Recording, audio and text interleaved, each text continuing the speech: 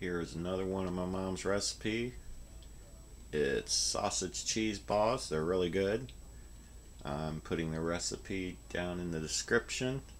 Again, this is just a short little video.